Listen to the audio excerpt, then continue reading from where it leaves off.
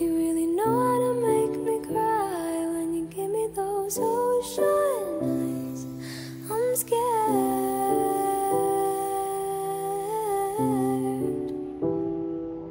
I've never fallen.